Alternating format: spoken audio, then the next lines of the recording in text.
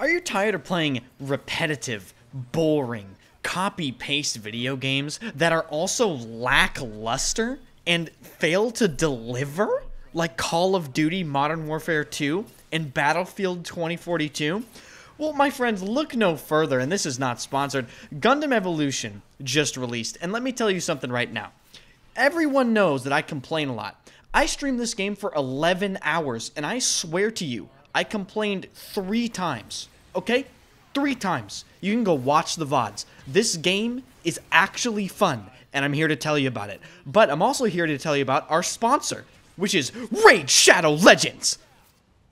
Are you tired of playing games that just simply don't function how they should?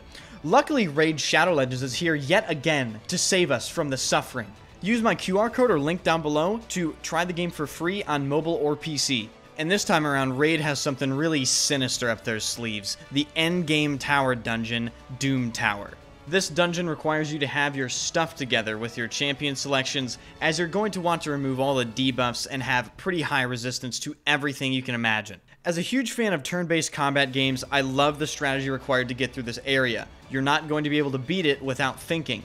And on top of that, Raid Shadow Legends just announced a new mechanic called Awakening and a new absolutely brutal dungeon in the Iron Twins Fortress. If you are talented enough to actually make it through the Iron Twins, you will see a gigantic payoff in the form of being able to actually awaken your champions to choose a more powerful blessing that can transform them and how they perform in battle. But it doesn't end there because Death Knight has something to tell you as well.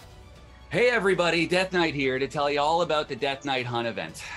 Raid's giving away Ultimate Death Knight, a, a champion that was, a, was supposed to be an upgraded version of me, but uh, turns out is totally not.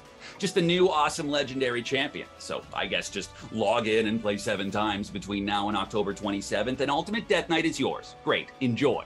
Enter the promo code DK Rises for a ton of free items to instantly upgrade Ultimate Death Knight to level 50, 5 star Ascension, or whatever. I don't care. Back to you. And all you have to do to get started for free is scan the QR code in the corner or click the link in the description. New players will automatically be rewarded with a free starter pack and get awesome in-game loot such as this. You can find your newly acquired items in your inbox for the next 30 days only. So thank you so much for Raid Shadow Legends sponsoring this video. Be sure to use the QR code or click the link in the description to try the game out for free, and let's get right into the video.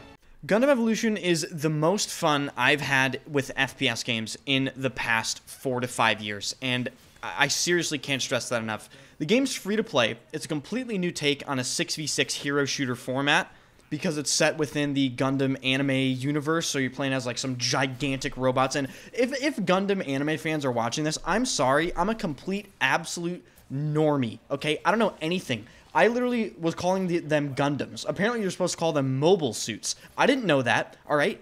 You're gonna have to speak to my secretary about that. But anyway, you play as gigantic robots with crazy abilities, and shockingly, the game is very well balanced. Typically with hero shooters, you're afraid of like, oh my god, you know, okay, some I'm getting one-shotted, you know, this character's busted. There honestly isn't really anything to complain about with this game.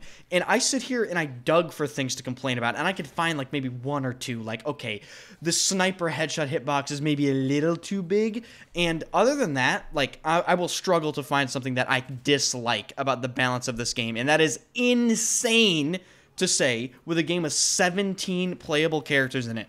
The map design, amazing. I haven't even. The maps are so good, I don't notice I'm playing in them. I don't know if that makes sense to anyone, but like I'm going through the map and everything just makes sense. There's no part of the map where I'm like, okay, well, this needs to be moved and there's no cover here and blah, blah, blah. It's like all these maps are really good. I haven't complained a single time about them. They flow really well. All the game modes fit really well on them. And they're just, they're obviously purpose built for competitive play and it shows. Now, I will admit one or two things here that really, really sort of confuse me about Gundam Evolution because the game got a ton of stuff right, like an abnormal amount of things right.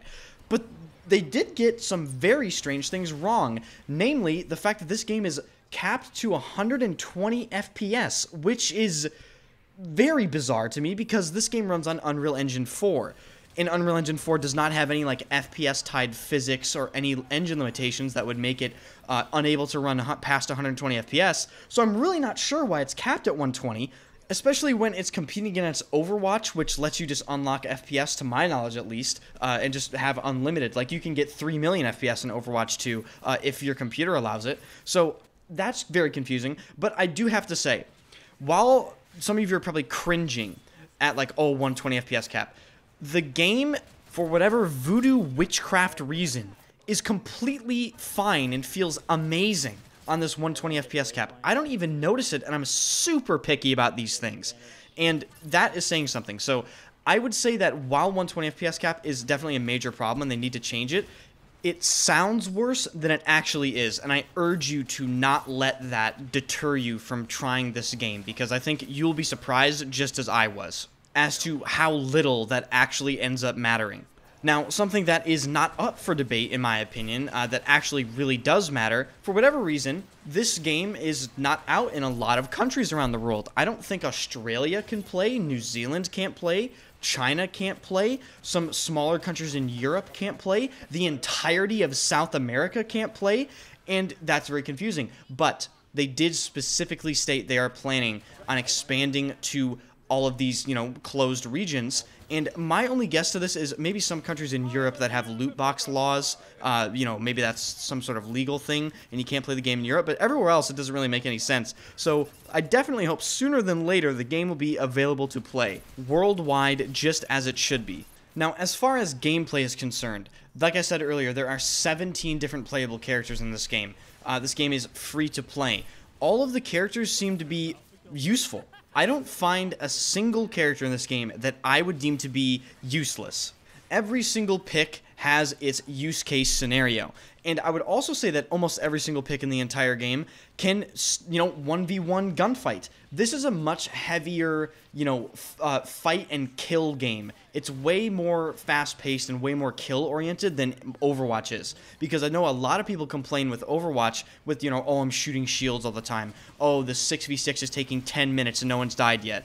That does not happen at all in this game, and there is a bit of deathballing in this game, but just know that individual talent shines through in Gundam Evolution. You can make big plays that really, really matter just by hitting a, a stun, hitting a uh, awesome grenade, you know, denying area, flanking. You can make big plays in this game individually, and as a team, that opens up a ton of different playstyles. Now, as far as some of my personal favorite picks that I like to play as, I typically gravitate towards, you know, more gun heavy. I don't really like the melee stuff. So I play people like Pale Rider, Gundam, Turn A Gundam, Dom Trooper, and Asshimar right now, with a little bit of like GM Sniper 2 thrown in there if I feel like it's fine. And I'll just go over some of these guys' abilities. So, Gundam is the guy with the flail that you might see in the background. He has a flail that's an on-hit stun. He has a shield that tanks a thousand damage. He has sort of an SLR laser rifle that does a ton of damage if you hit a headshot. It's actually very, very substantial damage uh, in the mid-range. And his ultimate ability is basically just throws a gigantic napalm grenade at you that kills you. Dom Trooper is the big purple guy with a rocket launcher that has a laser and he throws mines. Uh, I really, really like him. 1200 HP, bit of like a mid tanky character, great for defensive play. Um, but can also do a great deal of damage if you're good with direct rockets.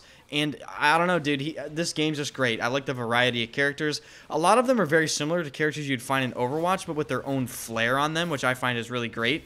And I absolutely plan on doing a complete breakdown of actually every single character you can play in this entire game. So if you will enjoy that content, hit the subscribe button and like the video. I'd really appreciate that.